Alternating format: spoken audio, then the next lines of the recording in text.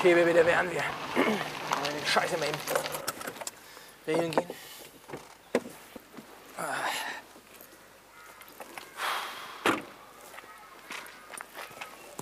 Ja. Ja, Baby, ich muss den Scheiß jetzt mal eben regeln. Ja, regel das schon. Warte, warte.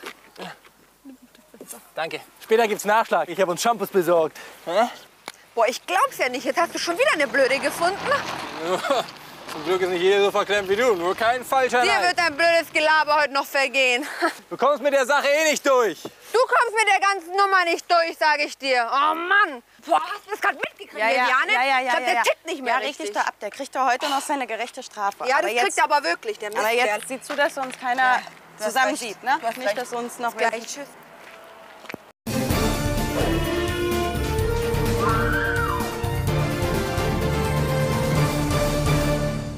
Timo Rüttgers, geboren 27. Mai 1983 in Lüneburg, wohnhaft in Erlesheim, ledig Kfz-Mechaniker. Das ist richtig. Kfz habe ich gelernt, aber jetzt bin ich auf dem Weg in Einzelhandel, weil in der Werkstatt fallen ja nur Idioten um mich rum. Vielleicht kann man das direkt mal klären. Beleidigung bitte nicht hier in diesem Sitzungssaal. Gut. Als der Angeklagte am 15. Juli 2009 um 21 Uhr das Sonnenstudio Happy Race in Erlsheim aufsuchte, erfuhr er in einem Gespräch mit der dortigen Angestellten Marion Witten, dass sie an diesem Tag bereits 2500 Euro eingenommen hätte. Da sich der Angeklagte in einem finanziellen Engpass befand, gab er nach seinem 20-minütigen Sonnenbad vor, Kopfschmerzen zu haben und bat Marion Witten um eine Schmerztablette. Als die junge Frau daraufhin in den Nebenraum ging, entwendete der Angeklagte aus der offenstehenden Kasse die 2500 Euro und flüchtete.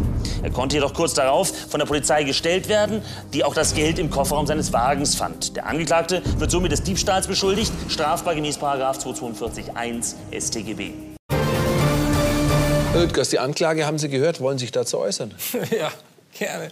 Ich meine, ich weiß gar nicht, wie es so weit kommen konnte, dass ich hier sitze. Ich, wir verschwenden hier meine kostbare Zeit und Ihre Zeit sicherlich auch. Und wir haben auch beide Besseres zu tun, oder was? Wollen sich zum Sachverhalt äußern? Sie meinen, ob ich die Kohle im Studio geklaut habe? Hm, Genau das möchten wir von Ihnen wissen, Herr Rüttgers. Das kann ich Ihnen gerne sagen. Das ist nämlich ganz einfach. Ich habe keine Kohle an dem Tag aus irgendeinem Sonnenstudio geklaut. Und wissen Sie auch warum nicht? Weil ich gar nicht da war. Ich war zu Hause mit einem Date von mir, Viviane. Ja? Habe ich vorher die Kleine in der Bar aufgerissen und dann haben wir uns das beim Onkel zu Hause mal so ein bisschen schick gemütlich gemacht. Das wird Frau Viviane Goldmann gleich auch noch bestätigen. Darauf würde ich mich nicht verlassen, Herr Vorländer. Ne? Platz 22 der Akte, Sie wissen das ganz genau. Viviane Goldmann war sich bei ihrer polizeilichen Vernehmung eben gerade nicht 100% sicher, ob sie zur Tatzeit, also um kurz vor halb zehn, noch beim Angeklagten zu Hause war oder nicht. Die wird sich gleich sicher sein, keine Sorge. Marion Witten hat an dem Abend in einem Sonnenstudio gearbeitet und sie hat bei der Polizei gesagt, also sie ist sich ganz sicher, dass sie um kurz vor halb zehn mit dem gestohlenen Geld aus dem Sonnenstudio ausgeflüchtet sind. Wie erklären sich das? Die. Ist doch ganz einfach. Warum sollte sie denn lügen? Herr Richter, gucken Sie mich mal an. Ich sehe halt verdammt geil aus und bin dazu noch richtig gut bestückt.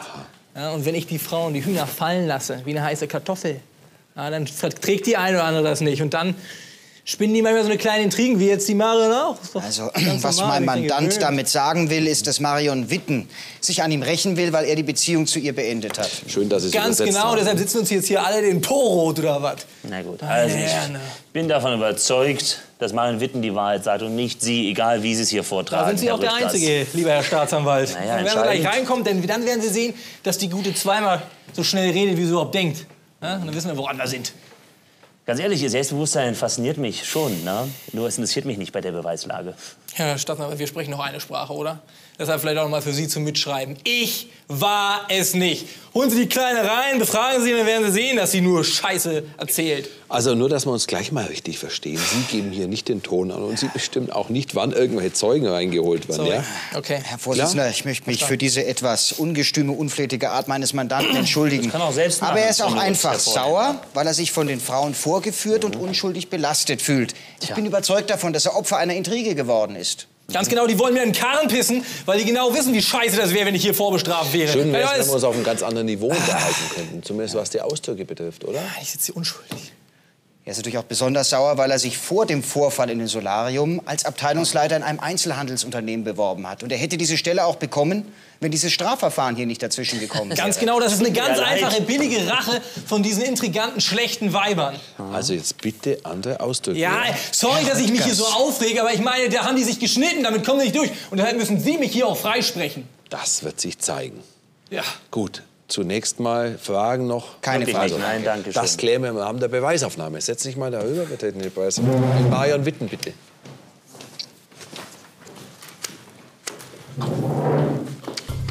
Herr Rüttgers, jetzt für das weitere Verfahren. Ich versuche uns ein bisschen zusammen. Frau Witten, guten Tag. Ganz hilfreich für Sie. Können Sie mal bitte nach vorne nehmen Sie bitte Ihren Platz. Ich muss Sie belehren, dass Sie als Zeugin hier die Wahrheit sagen müssen. Mit einer Falschaussage würden Sie sich strafbar machen. Vorsorglich belege ich Sie schon mal 55 StPO. Sie müssen auf Fragen nicht antworten, wenn Sie sich selbst Mara, belasten. ich wiederhole noch mal ganz kurz die Wahrheit. Ja, weißt du, was das heißt? Timo, ich bin nicht dumm und hör nicht auf damit. Du Vollidiot. Also, Herr Rüttgers, Sie reden bitte nicht dazwischen. Danke. Wollte Ja? noch mal sicher gehen, dass das jetzt auch hier Ich wurde. bin mir ganz sicher, dass Sie das alles schon verstanden haben, als ich es ihr gesagt habe. Okay. Vielen Dank. Gut. Sie heißen Marion Witten, 20 Jahre alt. Sie wohnen in Erlsheim. Sie sind ledig. Sie sind Aushilfsjobberin im Sonnenstudio. Verwandt, verschwägert, verlobt mit dem Angeklagten. Gott sei Dank nicht, aber ich war mit dem Vollidioten leider mal zusammen. So. Du bist ja immer noch nicht drüber weg, dass ich dich abgelegt habe, Puppe. Oh, Timo, jetzt hör nicht auf. Einbildung ist auch eine Bildung, du Vollidiot, du Blöder. Also, ich würde dich nicht einmal nehmen, entschuldigen Sie bitte kurz, ich würde dich nicht einmal mehr nehmen, wenn du der tollste Nee, ich oder der entschuldige letzte jetzt Mann gar auf der nicht Welt mehr. wärst. Das waren schon mal zwei Beleidigungen ja, im ersten Satz. Ich will die nicht hören, ist klar. Aber ich entnehme dem Ganzen, dass Sie beide irgendwie, ja, dass Ihr Verhältnis nicht das Beste ist, kann man so sagen? Ja, also das ist so, weil wir hatten so ein bisschen Streit, als wir uns getrennt haben. Aber der Monsieur, der musste ja trotzdem noch zu mir ins Happy Race kommen.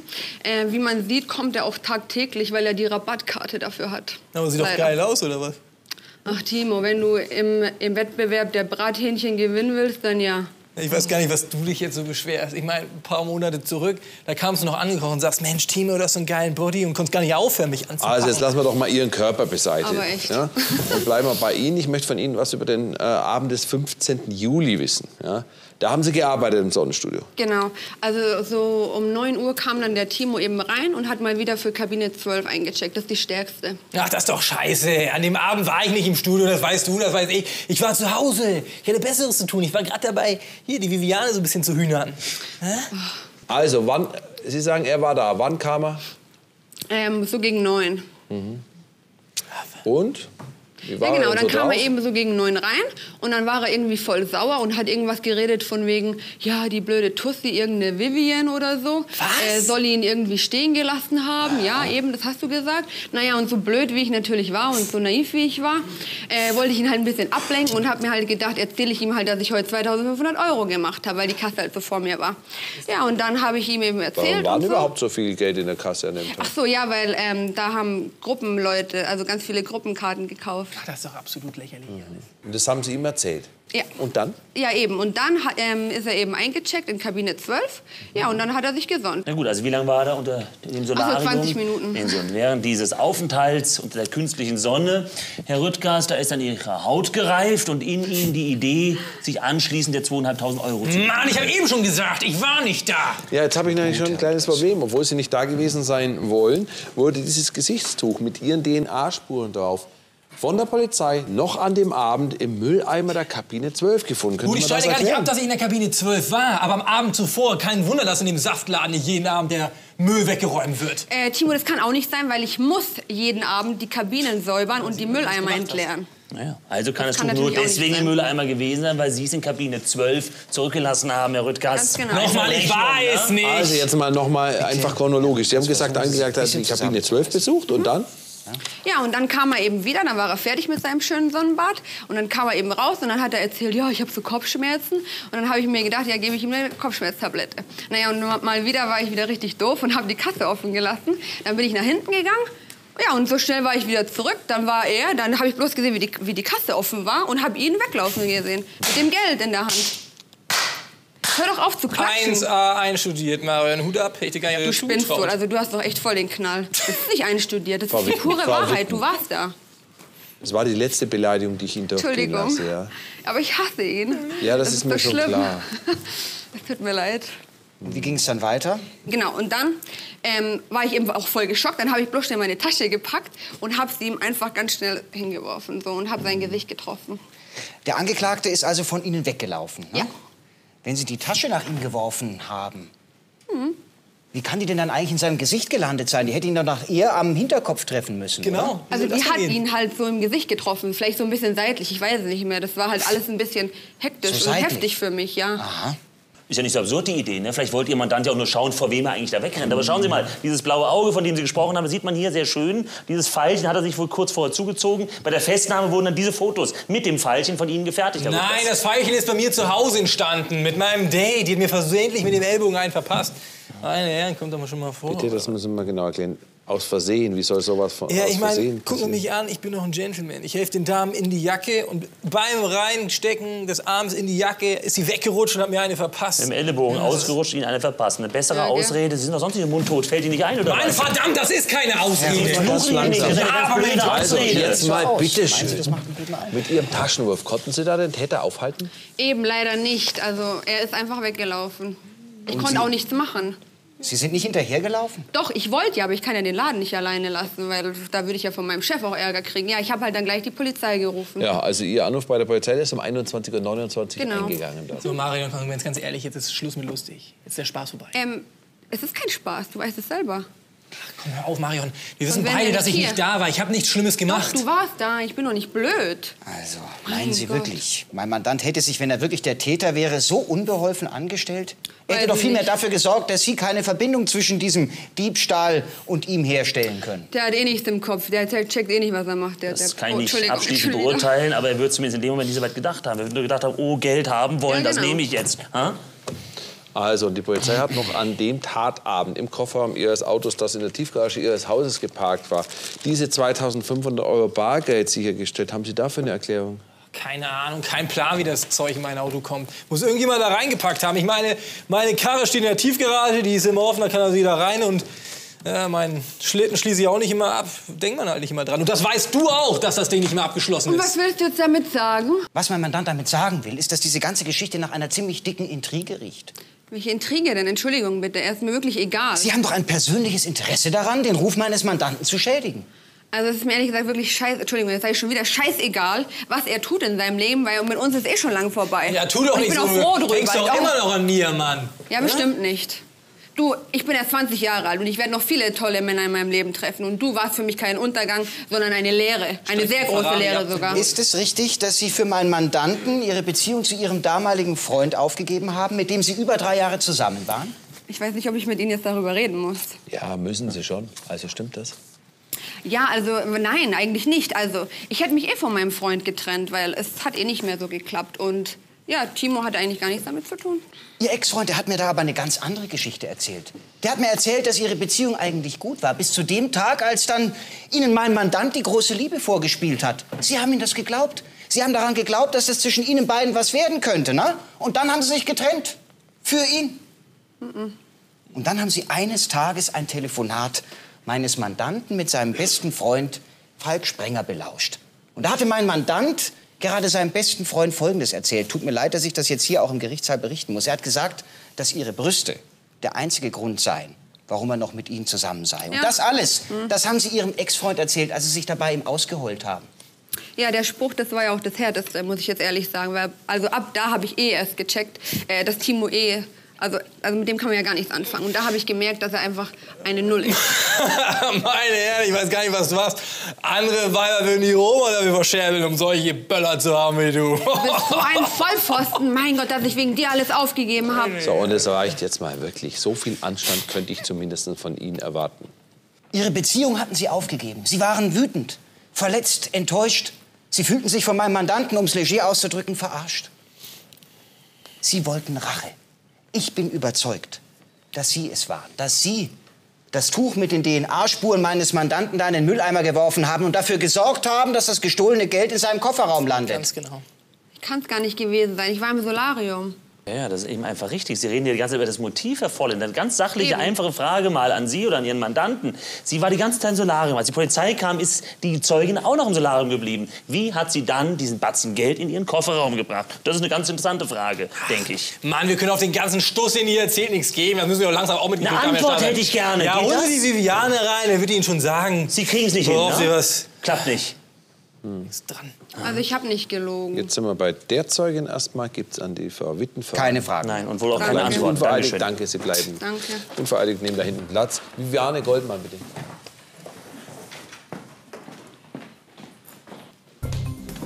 Wiefmaus, komm schnell nach vorne, setz dich da hin und erzähl Ihnen das doch nicht mal am Bar. Herr Rüttgers, Sie halten jetzt raus mal einfach nehmen. Sie nehmen bitte Platz. Frau Goldmann, als Zeugin müssen Sie die Wahrheit sagen, sonst würden Sie sich strafbar machen. Ja. Sie heißen Viviane Goldmann, 24 Jahre alt, Sie wohnen in Erlsheim, Sie sind ledig, Studentin des Kommunikationsdesigns, verwandt oder verschwägert mit dem Angeklagten. Nein, also ich kenne ihn nicht, außer von dem einen Abend. Und sonst habe ich ihn auch nicht mehr gesehen. Und um diesen Abend geht es heute. Das war der Abend des 15. Juli 2009. Der Angeklagte soll an dem Abend aus der Kasse des äh, Sonnenstudios Happy Race 2500 Euro gestohlen. Ja. Waren Sie an dem Abend des 15. Juli mit dem Angeklagten zusammen? Ja, also es war schon ein ziemlich komischer Tag, weil ich bin am späten Nachmittag halt nach der Arbeit in der Cocktailbar gegangen und da habe ich Timo da sitzen sehen und ihn angesprochen. Moment, Moment, Moment, Moment, Wiefmaus. Ich hab dich angesprochen. Ja, wie auch immer. Aber ich möchte jetzt nicht, dass Sie denken, ich mache sowas immer. Gut, ist ja nichts Verwerfliches, jemand in der Cocktailbar anzusprechen. Ja gut, aber eigentlich mache ich das nicht, weil ich bin vergeben und habe einen Freund. Aber wir haben im Moment ein bisschen Stress, weil er halt als mit anderen Frauen rummacht. Und an dem Abend habe ich mir halt gedacht, ich mache ihn mal eifersüchtig und reiß mir halt auch jemanden auf. Und dann bin ich halt mit Timo ins Gespräch Ich meine, hast du mit mir auch einen richtig geilen Fang gemacht, um Oh, deinen Bagger bist so ein- eifersüchtig oh, zu Du machen. bist so ein Volltrottel. So, Sie halten sich jetzt beide zurück. Ja? Ihnen habe ich es zigmal gesagt, Ihnen habe ich es eigentlich auch schon so oft gesagt, Frau Entschuldigung. Witten. Sie halten sich auch zurück. Ja? Auch wenn Sie ein über auch wenn Sie ein überdimensioniertes Ego haben, ja, ich möchte jetzt mit der Zeugin sprechen über den Tatabend. Ja? Haben Sie mich da verstanden? Ja, tut mir leid. Und Sie sagen doch die ganze Zeit, reden Sie endlich mit der Zeugin, dann kommt meine Unschuld raus. Lassen Sie mich doch mal, oder? Also, wie lange sind Sie da in der Bar geblieben? Ja, also ich weiß nicht so genau, aber ich schätze mal bis um acht, weil wir haben so ähm, zwei, drei Cocktails getrunken und ich war schon ziemlich beschwipst, weil ich habe an dem Tag halt nichts gegessen. Naja, und dann hat mich Timo halt gefragt, ob wir noch mal zu ihm gehen wollen. Naja, und dann sind wir halt in seiner Wohnung gelandet. Das ist eine typische Masche. Um wie viel Uhr waren das? Ja, ich schätze mal so, das war so um Viertel nach acht. Ähm, ja, und ich habe mich halt so hin und her gerissen gefühlt, weil ich wollte ja eigentlich nicht so weit gehen. Also ich meine, mit dem Fremdgehen. Aber der Timo, der ist halt auch sehr charmant gewesen. Und er weiß halt auch, was Frauen hören wollen. Ne? Hat er irgendwas an dem Abend über ein Solarium erwähnt oder dass er dort noch hingehen wollte? Nein, das nicht. Also wir haben nur ein bisschen was getrunken und ein bisschen geredet, aber von dem Ja, Solarium dann? nicht. Ja, dann klingelte irgendwann das Telefon. Ja, genau, das Telefon hat Seines oder geklingelt. ihres? Nein, seins. Seins. Ja, Bei mein. Festnetz hat geklingelt. Einmal, genau, ich bin ran, aber war schon keiner mehr dran. Und dann komme ich zurück und dann bist du auf einmal wie ausgewechselt. Ja, ich weiß. Also ich war dann sehr schnell angebunden, auch weil ich bin dann aus diesem Traum aufgewacht, was ich eigentlich mache und dass ich eigentlich den größten Fehler meines Lebens begehe. Und dann habe ich halt meine Klamotten gepackt und mich Ja, angezogen. ja, genau, und dabei habe ich dir geholfen und dann bist du beim Schwung in die Jacke, hast du mir ordentlich einen mitgegeben. Und was? Ja, deshalb hatte ich doch das blaue Auge, das Pfeilchen. Nein, ich habe dich nicht geschlagen. Auch nicht aus Versehen? Nein, da, da hätte ich mich daran erinnert. Nein. Ja, gut, ich meine, sie hätte es sonst auch vielleicht bei der Polizei schon erwähnt, ne? Hat sie aber nicht, weil die Polizei hat es genauso gesagt wie auch hier. Und deswegen glaube ich der Zeugin. Ich meine, das kann doch nicht wahr sein. Du musst doch dich daran erinnern, dass du mir eine verpasst hast. Timo, ich bin mir sehr sicher, dass ich dir keine verpasst habe. Ma Mann, dann hast du es halt vergessen. Dann hast du es halt vergessen, weil du betrunken warst. Nein, ich war zu dem Zeitpunkt nicht betrunken. Ich bin mir hundertprozentig sicher darüber, was ich sein. gemacht habe. Das kann nicht sein. Wann haben Sie denn dann die Wohnung des Angeklagten verlassen? Ja, das müsste so bei der Polizei konnte ich das noch, konnte ich das nicht genau sagen. Da habe ich zwischen 21 und 22 Uhr gesagt. Ich meine, was, was eierst du denn jetzt so rum? Du warst bis 22 Uhr bei mir, definitiv. Nein, nein, nein, nein, Herr Oetkers, Sie hören jetzt mal auf. Sie setzen die Zeugen nicht unter Druck. Ja? Ja, aber- Und reden überhaupt nicht dazwischen, bitte. Ja, Mann, ich, ich kann in diesem Studio nicht gewesen sein um halb zehn. Ich war es nicht. Also ich bin mir total hundertprozentig sicher, dass es um 10 vor 9 war abends, wo ich die Wohnung verlassen habe. Ey! Von neun. Ja. Und wieso wissen Sie das so genau jetzt im Gegensatz zu Ihrer Aussage bei der Ja, Polizei? also das ist deswegen, weil ich bin von ihm, also von seiner Wohnung bis zu mir, nach Hause sind es circa 10 Minuten Fußweg. Und an dem Abend, wo ich dann nach Hause gegangen bin, ist mein Nachbar auch mit dem Auto weggefahren. Und normal, wenn der abends um diese Uhrzeit mit dem Auto wegfährt, geht er zur Arbeit in der Fabrik zur Spätschicht. Und warum haben Sie es nicht schon bei der Polizei gesagt? Ja, weil ich letzte Woche meinen Nachbarn gesehen habe. Und da habe ich gesehen, wo er abends wieder an die Arbeit gefahren ist. Und da habe ich ihn natürlich darauf angesprochen, ob er an dem Abend auch Spätschicht hatte. Und das hatte er. Also jetzt nochmal. Das heißt, Sie sind sich jetzt ganz sicher, dass Sie an dem Tatabend die Wohnung des Angeklagten spätestens um 10 vor 9, also 10 vor 21 Uhr verlassen haben. Ja, ich bin mir hundertprozentig sicher. Und es tut mir auch leid, dass mir das nicht früher eingefallen ist. Damit ist Ihr Alibi geplatzt, ne, Herr Rüttgers. Wenn Sie wirklich um diese Zeit gegangen ist, ja, dann haben Sie genug Zeit, diesen kurzen Weg von fünf Minuten zum Solarium zu gehen, sich 20 Minuten der Sonne hinzugeben, um dann anschließend die 200.000 Euro zu stehlen. Nein, Mann, Viviane lügt! Wieso sollte die Zeugin denn lügen? Oh, was weiß ich, keine Ahnung, warum die lügt.